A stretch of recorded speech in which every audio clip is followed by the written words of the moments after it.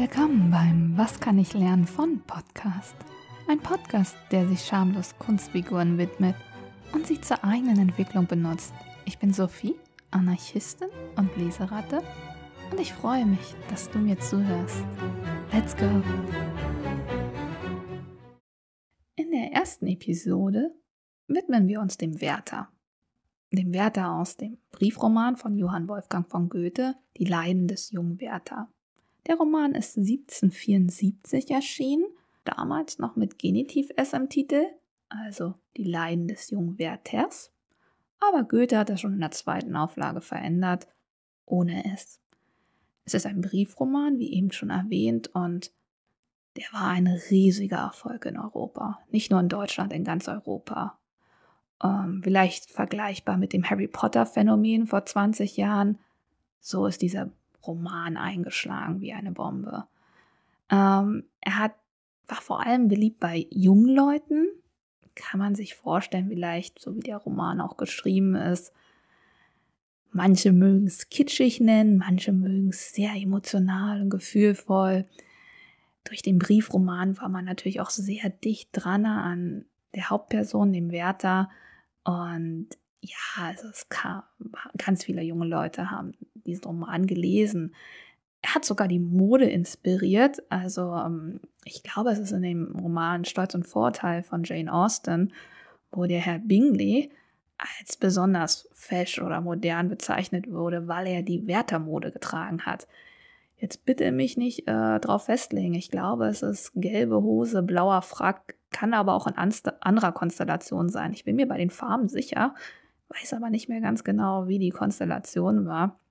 Aber auf jeden Fall, man galt als modern und schick, wenn man halt so wie Werther aussah. Ähm, oder man hat sich dann sozusagen in diese Rolle gesehen des leidenden jungen Mannes, der gefühlvoll war. Und also, wie gesagt, totaler Erfolg dieser Roman. Wurde natürlich auch kontrovers behandelt. Ist ja meistens, dass das einem Buch sehr gut tut oder einem Film oder was weiß ich was, wenn darüber auch geredet wird. Ähm, hier waren es vor allem geistliche Autoritäten, wahrscheinlich auch andere Autoritäten, andere Schreiber auch, also andere, jetzt fällt mir das andere Autoren, jetzt ist mir das Wort nicht für Autor eingefallen. Ha, verrückt. Naja, also auf jeden Fall, da gab es natürlich auch sehr viel Kritik in der Richtung, besonders weil es um Suizid geht. Und man meinte, dass Suizid dort positiv dargestellt wird Suizid galt damals ja auch als Sünde oder gilt ja auch immer noch als Sünde, aber war auch strafbar. Ich frage mich, wer da strafbar denn ist, aber war halt auch wirklich eine tiefste Sünde. Die Leute wurden nicht auf dem, ähm, auf dem Friedhof beerdigt, bekamen nicht die letzte Absolution im Glauben. Ähm, na gut, Absolution geht ja sowieso nicht mehr, weil sie tot sind, aber es wurde halt wirklich von der Kirche her gesagt, die kommen nicht ins Paradies die sind böse, die werden irgendwo anders ähm, beerdigt. Also es war wirklich nicht so, wie man vielleicht heute den Suizid bewerten würde, dass das halt ein Opfer ist und dass man sagt, okay, der Arme, der sich jetzt selbst umgebracht hat, sondern da war schon ein bisschen die Bezie äh, Beziehung zu anders. Dementsprechend war natürlich auch die Bewertung dieses Romans anders und ähm, ich weiß, ich glaube, es war Lessing, der sogar auch geschrieben hatte, dass der Roman ja ganz gut sei und man aber doch bitte der Herr Goethe, Herr Wolfgang, Johann Wolfgang von Goethe, doch bitte danach noch ein Kapitel dazu schreiben sollte, um sich da nochmal wirklich kritisch zu distanzieren von diesem Thema, dass das halt wirklich nicht positiv zu bewerten sei, in keinster Form und Weise. Ähm, dazu jetzt mal einen kleinen Einschub. Es gibt dieses Gerücht, dass, oder eigentlich seitdem der Roman erschienen ist, gab es das Gerücht, dass es Nachahmen-Suizide gab. Können wir uns vielleicht noch ein bisschen vorstellen, es gab ja auch Nachahmen-Suizide nach Kurt Cobains Tod oder Freitod. So gab es das wohl angeblich auch, wobei man sagen muss, dass diese Gerüchte bis jetzt nicht bestätigt wirklich sind. Was es aber gab, das muss man jetzt wirklich sagen, das hat Goethe auch selber betroffen, er hatte eine 17-jährige Bekannte, wo er in Weimar war. Und dieses junge Mädchen, ich glaube, Christiane hieß sie. müsste ich nochmal gucken, Christiane von, die ist äh, ins Wasser gegangen und man hat halt in ihren Sachen, als sie dann gestorben ist, ähm, tot war, hat man in ihren Sachen auch den Wärter gefunden. Und das hat Goethe selber betroffen. Das war, glaube ich, vier Jahre, nachdem er den Goethe rausgebracht hatte. Und das hat ihn wirklich betroffen, muss man sagen. Er hatte sich sonst immer von allen Kritiken distanziert und hm, gesagt, naja, was soll's, also nicht was soll's, aber naja, es ist ein Roman. Ich kann ja nichts dafür, wenn andere sich jetzt davon irgendwie inspirieren lassen. Ich glaube, da hat er auch mal was relativ Zynisches gesagt, so der Motto, naja, die, die da jetzt gestorben sind, was soll's, die waren halt so doof. So, also jetzt nicht ganz so, ich übertreibe jetzt ein bisschen, aber er hat das so ein bisschen mal verlauten lassen. Ähm, dieses junge Mädchen hat ihn betroffen. Und ich glaube, er hatte dann auch später in der zweiten oder dritten Auflage dann auch vor, als naja, Vorwort ist zu viel, aber er hatte dann davor diesen Satz geschrieben, sei ein Mann und folge mir nicht nach. Also ich glaube, das zeigt ja schon, dass er ein bisschen sich davon beeinflussen lassen hat, von der Kritik und von dem auch, was passiert ist in seinem Umfeld. Ähm, wie gesagt, ich will jetzt zum Inhalt gar nicht so viel sagen. Es geht hier nicht um den Inhalt. Es geht hier auch nicht um irgendeine Analyse, Interpretation oder sonstiges. Es ist rein zur Unterhaltung und rein, was ich mir vielleicht sage, was man aus dem Werther lernen kann. Keinerlei Anspruch auf Vollständigkeit. Ich glaube, es gibt viel, viel mehr, was man aus dem Werther lernen kann. Ich habe mich jetzt hier auf vier Punkte fokussiert und die reichen auch vollkommen. Also für mich, wir wollen es ja klar Zeiten, kurz und knackig. Und ja, dann gehen wir mal rein, was kann man aus Werther lernen. Und dazu muss ich noch mal kurz was vorher sagen. Ähm, Werther ist eine Kunstfigur. Werther gibt es nicht. Und er ist überzeichnet. Er ist extrem. Und es gibt ja so ein bisschen diese typische Deutschlehrersprache im Abitur, äh, Deutschlehrerfrage, nicht Sprache. Wie hätte man Werther retten können? Was hätte passieren müssen, damit Werther überlebt? Und ich denke mir mal so, das ist totaler Bullshit. Werther ist extrem. Werther muss extrem sein. Und er muss scheitern, weil er so ist, wie er ist. Und da kommen wir auch gleich zum ersten Punkt. Dim, dim. Strebt nicht ins Extreme. Ich glaube, das kann man ziemlich gut aus dem Werther lernen. Sei nicht extrem. Oder positiv bewertet oder positiv ausgesprochen, halte die Balance. Und ich denke, das kann man in fast allen Lebenslagen oder Sachen für sich definieren sei es jetzt nun politisch, strebe nicht wieder nach links, extrem links, in den Sozialismus, ob es nun national oder international sozialistisch ist, du scheiterst, als auch in den Traditionalismus. Also das ist halt zum Scheitern verurteilt, weil es in den Tod mündet. Genug Beispiele gibt es historisch gesehen. Sei es jetzt persönlich, strebe nicht in den Hedonismus, dass es dir nur noch um dein Verlangen geht, damit hast du auch nicht gewonnen. Aber du brauchst auch nicht Abstinenzler sein und dir nie etwas gönnen oder nie irgendwie vielleicht Freude empfinden. Dazu sind wir auch nicht gemacht. Religion, strebe nicht in einen Kult.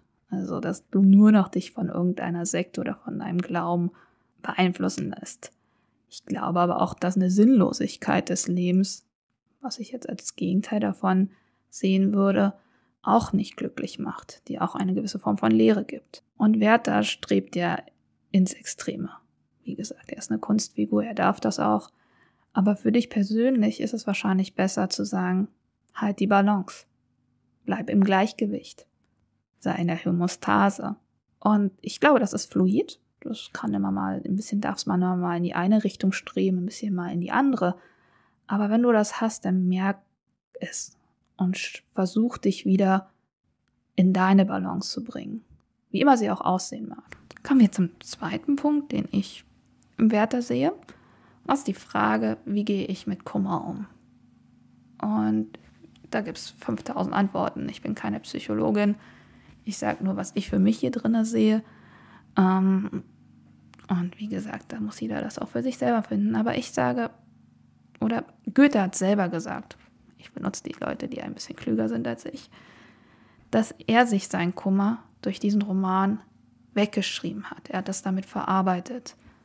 Ich glaube, die meisten wissen, dass Goethe auch in einer Dreiecksbeziehung platonischen Ursprungs war und dort auch gelitten hat, dass er nicht die Frau bekommen hat oder vielleicht, ja, ich denke, das kann man so sagen. Und das hatte er halt auch den seinen Kritikern als Antwort gegeben. Ich habe mir meinen Kummer durch diesen Roman weggeschrieben. Und so kann man das verarbeiten.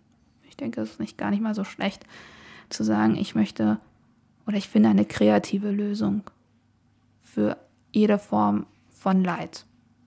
Weil aus Leid kann Kreativität entstehen. Niemand kann wirklich kreativ sein, der nie leidet. Das ist, glaube ich, auch allgemein anerkannt in der Kunst oder es muss ja nicht immer nur Kunst sein. Ich, ich finde es auch kreativ, wenn jemand seinen, sich einen Schuppen baut, ganz alleine. Da muss man auch kreativ sein. Man muss überlegen, wie man das macht oder an seinem Auto schraubt oder von mir aus tanzt. Alle Formen von Kreativität sind legitim. Mm, dies geht daher, es geht dabei auch nicht um den Gedanken, dass Schönheit erschaffen werden muss. Ich denke, erst sollte was Neues, Kreatives sein. Und es geht halt auch darum, aktiv zu werden. Nicht passiv, sondern aktiv. Und Kreativität und etwas Neues erschaffen geht mit Aktivität einher.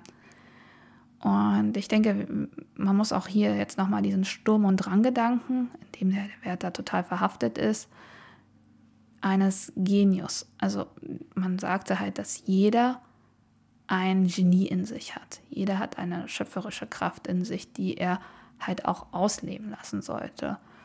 Und für mich ist halt dieser Genius-Gedanke vielleicht eher in der Kreativ Kreativität gemündet.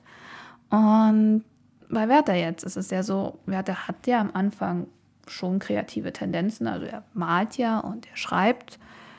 Er hört aber irgendwann mit dem Zeichnen auf, weil er sagt, oh, ich kann diese Schönheit und meine Gefühle nicht in ein Blatt Papier geben und verliert dadurch dieses Ventil zu malen, irgendwo damit auch umzugehen, das, was er fühlt und was er hat und der Kummer. Ich weiß, er malt am meisten Naturbilder, aber man ist ja trotzdem dann da drinnen in diesem Flow und schafft was Neues. Und er kann das einfach nicht mehr. Er macht es nicht mehr, er will es nicht mehr. Und verliert dadurch, wie gesagt, auch dieses Ventil. Und ich habe, bin der Meinung, dass er später wahrscheinlich gar nicht mehr die Fähigkeit gehabt hätte, zu malen und zu schreiben. Also man merkt es ja auch, dass er dann eigentlich nur noch mehr so repetiert, also immer wieder wiederholt und immer so ein bisschen gefangen ist in diesem Wiederholung und nichts Neues schafft. Es ist auch so, dass er in diesen euphorischen Phasen, wo er so sehr, sehr emotional ist, auch weniger, ähm, weniger Briefe schreibt. Es ist ja wie gesagt ein Briefroman. Und wenn er stabiler ist, schreibt er mehr.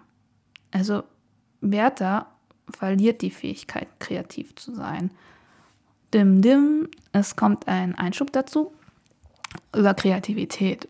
Und ähm, Kreativität ist wirklich ein faszinierendes Thema. Und ich würde jetzt ganz gerne ein bisschen neurowissenschaftlich, naja, analysieren wäre zu viel gesagt, aber einen kleinen Input neurowissenschaftlich dazu geben. Und zwar, wenn wir kreativ sind gibt es so zwei, wahrscheinlich mehr, aber zwei große Netzwerke, die arbeiten. Und das erste ist das Default Mode Network. Und das ist so ein bisschen vielleicht vorstellbar wie Brainstorming. Das heißt, wenn ich jetzt zum Beispiel dir die Aufgabe gebe, was kannst du mit einem Stuhl machen oder was fällt dir zum Stuhl ein oder schreib alle Ideen auf zum Thema Stuhl. Dann kannst du sagen, okay, es gibt Holzstühle, es gibt Sessel, es gibt äh, braune Stühle, es gibt rote Stühle. Dann könntest du aber auch sagen, ja, auf dem Stuhl kann man sitzen, man kann stehen, man kann auf dem Stuhl, was weiß ich, was machen. Ähm, bis hin zu extrem kreativen Sachen. Man kann in einer Bar den Stuhl nehmen und sich gegen seinen Angreifer äh, wehren, indem man den Stuhl auf ihn raufwirft. Das wäre dann schon ziemlich weit und kreativ gedacht. Ja, kreativ ist vielleicht jetzt nicht das richtige Wort, aber es wäre schon ein relativ ähm, sehr weiter Gedanke von der Ursprünglichkeit, wo wir alle eigentlich sagen würden, man kann drauf sitzen. Und dieses Brainstorming, alle Ideen zusammen, egal wie crazy sie sind, das ist Default Mode. Und dann gibt es noch das Salience Network. Und das ist eigentlich aus diesen verrückten Sachen Ideen zu katalysieren und zu sagen, okay, das funktioniert, das ist gut. Daraus könnte man was machen. Das ist, hat Sinn und Verstand. Und während da braucht man dann auch schon wieder so ein bisschen mehr Fokus. Ne? Also man muss sich wieder konzentrieren, man muss sich hinterfragen, was ist möglich, was ist sinnvoll auch. Und diese beiden arbeiten immer zusammen. Wenn man jetzt einen kreativen Prozess hat, dann braucht man beide in einer gewissen Form von Balance. Ich glaube, dass Werther dermaßen in diesem Default Mode Network, in diesem Brainstorming, in diesem Überschwänglichen war und das andere Network, das Salience Network, gar nicht mehr funktioniert hat. Also er konnte aus seinen Ideen und aus seinen ganzen Sachen nichts mehr richtig katalysieren und damit war er nicht mehr kreativ. Er hatte nicht mehr die Möglichkeit, wirklich kreativ zu sein. Falls euch das über den Neuro, also falls euch das zur Neurowissenschaft wirklich super interessiert, empfehle ich den Podcast von Huberman, Huberman Lab. Ich kriege keinerlei Geld dafür, aber wirklich super. Sein Thema zur Creativity, super toll, erklärt das viel, viel besser, als ich es jemals könnte. Also wirklich einmal auschecken. Geiles Wort, auschecken. Ähm, okay, also was sagt uns das nochmal zusammengefasst? Und der zweite Punkt, lerne deine Gefühle anzunehmen und sie kreativ zu verarbeiten. Und dabei brauchst du zwei Dinge. Brainstorming, aber auch Fokussierung. Und wenn du das, egal was für Gefühle du hast, lass sie kreativ, schaff Neues, sei aktiv, tu etwas. Wie gesagt, wäre das in diesem Beispiel wieder unser Anti-Held oder das Negativbeispiel. Gut. Gehen wir zum dritten Punkt. Nur noch zwei. Ich habe mir jetzt hier übergeschrieben, werde erwachsen und übernimm Verantwortung. Hm. Schwierige Sache, aber na gut. Für mich ist Werther sehr infantil. Man könnte es vielleicht, ein Psychologe würde sagen, wahrscheinlich narzisstisch gestört. Und dazu gibt es unzählige Beispiele ich liste jetzt ein paar auf, dass man sich so ein bisschen vielleicht das vorstellen kann, warum ich sage, er ist infantil oder narzisstisch gestört. Er handelt immer nur aus seinen eigenen Bedürfnissen. Werther ist es egal, was Albert denkt. Werther ist egal, was Lotte denkt. Werther ist egal, was überhaupt einer von ihm denkt. Kann manchmal befreiend sein, aber ihm sind auch die Konsequenzen egal, die sein Handeln haben. Er küsst Charlotte obwohl Albert, glaube ich, sogar dabei war. Sie rennt weg und ist traurig. Und er setzt sie unter Druck, er bedrängt sie. Und ihm ist egal, was seine Handlungen für Konsequenzen haben. Sie sagt ihm, bitte komm jetzt nicht mehr in den nächsten vier Tagen. Er kommt trotzdem. Es ist ihm egal. Dieses nur Fokussierung auf den eigenen Bedürfnissen, was bei Kindern total okay ist. Kinder müssen ihre eigenen Bedürfnisse über alles stellen, weil sie überleben müssen. Sie lernen das, sonst sie sind ja davon abhängig, dass wir ihre Bedürfnisse stillen, weil sie sonst nicht überleben würden. Aber als erwachsener Mensch ist es halt narzisstisch. Es ist infantil. Und ihm, er unterliegt extrem, er unterliegt extrem Stimmungsschwankungen. Das ist ja ein bisschen von, wie heißt das im Deutschen? Vom Regen in die Traufe? Nein, das ist, glaube ich, falsch. Warte. Ich komme nicht drauf. Ah, bitte schreibt es mir.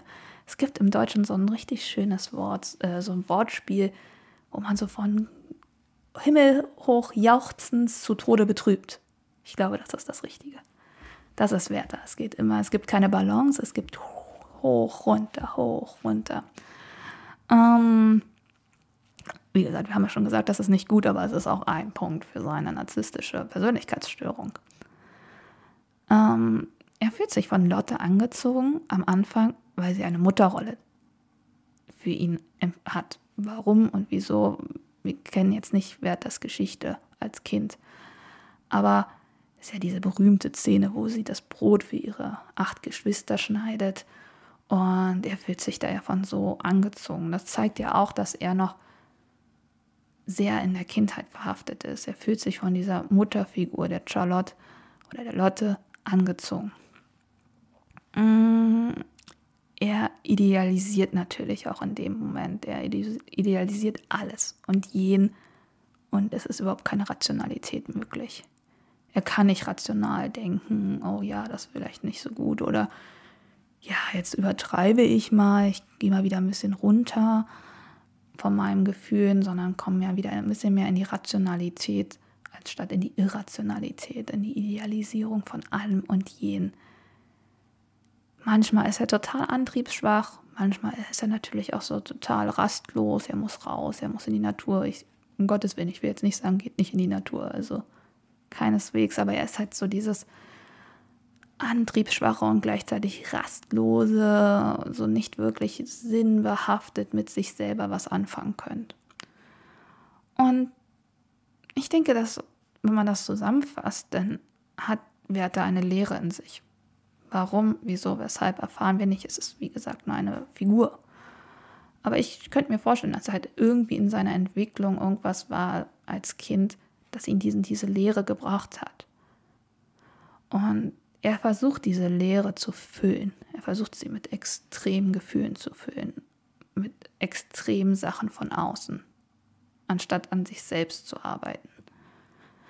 Und diese Spirale der Leere und dieses Füllen, die geht immer mehr ab und sie endet halt im Suizid, wo er dann den größtmöglichen Akt hat, um diese Leere zu füllen. Und für die heutige Zeit ist dann die Frage, haben wir auch diese Lehre in uns? Auf persönlicher, auf gesellschaftlicher Ebene. Und mit was füllen wir diese Sachen? Füllen wir sie hauptsächlich mit externen Dingen? Social Media, Konsum, was weiß ich was, hedonistischen Sachen, Sex. Und füllen wir es nicht mit internen Dingen, die aus uns kommen, Sinnsachen. Vielleicht jetzt wieder auch den Punkt Kreativität angehakt. Und vielleicht kannst du dich ja selber mal fragen, findest du dich vielleicht in diesen, nicht, dass du ein Narzisst bist, um Gottes Willen, aber findet man sich manchmal in diesen extremen Sachen von Werther wieder? Ich glaube, es geht uns allen fast manchmal so. Und mit was füllst du denn Lehre? Und wie fühlt es sich an, diese Leere zu füllen? Und gibt es vielleicht auch Möglichkeiten, sie anders zu füllen? Mit Verantwortung übernehmen. Und diese Verantwortung muss nicht groß sein. Es kann auch die Verantwortung zu sagen, okay, ich mache mein Bett am Morgen. Ich mache mein Zimmer aufräumen. Ich nehme Verantwortung für meinen Körper. Ich übernehme Verantwortung für meinen Körper indem ich ihm gute Sachen zuführe, indem ich mit ihm, das klingt so als wäre es ein Hund, mit, indem ich ihn ausführe,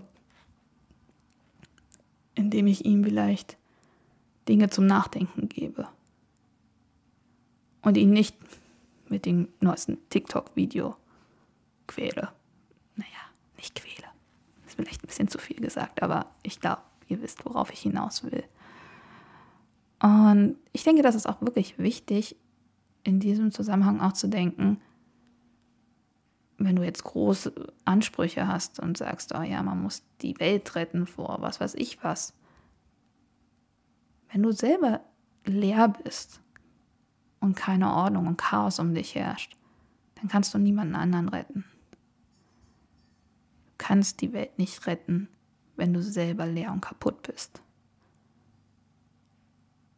Ja. Und ich denke, Werther gibt uns einen Anhaltspunkt, was Lehre mit einem machen kann. Was, dass man, was man vielleicht stattdessen für macht. Sinn, Verantwortung. Und ich würde es unter dem Schlagwort sehen, erwachsen werden. So schmerzhaft es auch ist und so schön die Kindheit auch ist ist es unsere Aufgabe, erwachsen zu werden und Verantwortung zu übernehmen. Für uns selbst zuerst und dann vielleicht für andere. Jo, große Worte von einem kleinen Menschen. Ja, im letzten Punkt unserer Werteanalyse, na, jetzt habe ich doch das Wort Analyse benutzt, ich wollte das gar nicht Analyse nennen, in meinen Gedanken zu Werther, klingt besser, würde ich Ihnen jetzt auch mal was Gutes tun. Ich habe jetzt Werther so fertig gemacht. Ach Gott, armer Junge. Ähm, Werthers Gedanke von Freiheit ist vielleicht inspirierend. Ich denke, dass Freiheit ein sehr, sehr wichtiges Wort ist. Für uns alle, für einen persönlich, für Gesellschaften, für jede Zeit historisch, die wir betrachten können. Und wer das Freiheitsgedanke ist, extrem. Für die damaligen Zeiten, vielleicht sogar für unsere Zeiten. Und da wir ja darum reden, was können wir von Werther lernen, müssen wir es ja auch in unsere Zeit einmal reinbringen. Und Werther denkt außerhalb von Hierarchien. Wir hatten eben schon den Geniusgedanken des Genies. Wenn jeder von uns ein Genie ist und schöpferisch Kraft hat, dann hat auch keiner die Befugnis, über einen anderen was zu sagen, zu beherrschen oder sich zu erheben. Die Sache ist die, wenn du selber ein Genie bist, dann brauchst du keine Experten, keine Politiker, keine sonstigen, die für dich entscheiden, was für dich am besten ist. Du kannst dir selber deine Meinung bilden und du kannst auch, hast halt auch die Freiheit, diese Meinung zu sagen. Mit, mit jedweden Konsequenzen, die vielleicht daraus kommen. Werther wurde dann aus, oder ich glaube, Werther hat selber gekündigt seinen Job und hatte ja dann Existenz vielleicht Ängste. Nicht vielleicht, er hatte Existenzängste. Das heißt, Freiheit geht mit Verantwortung einher. Aber es ist trotzdem auch irgendwo eine Pflicht zu sagen, okay, wenn ich diesen Genius in mir habe, ich habe dieses wundervolle Gehirn oder diese wundervolle Seele, wie immer du es bezeichnen möchtest, mir meine Meinung zu bilden, mit welchen Mitteln auch immer, lesen, YouTube, Podcast, was weiß ich, wo du sagst, okay, das ist meine Meinung, dann brauchst du dich davor nicht zu verstecken, diese Meinung zu äußern. Es gibt keine Hierarchien. Wir sind alle gleich. Wir haben alle den gleichen Genius in uns. Unterschiedlich ausgeprägt. Und du darfst das auch, diese Freiheit haben. Du darfst frei sein und du darfst auch deine Meinung äußern. Ja, ich denke, das war nochmal ein sehr positiver Abschluss zu unserem Werther. So, das war der Werther, was man aus Werther lernen konnte. Oder was man von Werther lernen konnte. Könnte, vielleicht. Ähm, ja, ich hoffe, es hat dir gefallen. Und ich habe meine erste Folge geschafft. Juhu. Ähm, ja, in der nächsten Folge, ein kleiner Ausblick, ähm, wird es entweder um D'Artagnan gehen oder um Bilbo Beutlin. Also was kann ich lernen von D'Artagnan oder was kann ich lernen von Bilbo Beutlin? Lass dich überraschen und wir hören uns beim nächsten Mal. Alles Gute dir.